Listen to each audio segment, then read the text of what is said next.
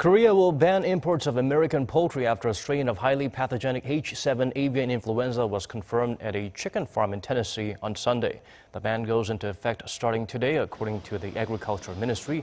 While live poultry and eggs are subject to the ban, heat-treated chicken, meat, and egg products can still be imported. Seoul will now import live poultry only from New Zealand, Australia, and Canada.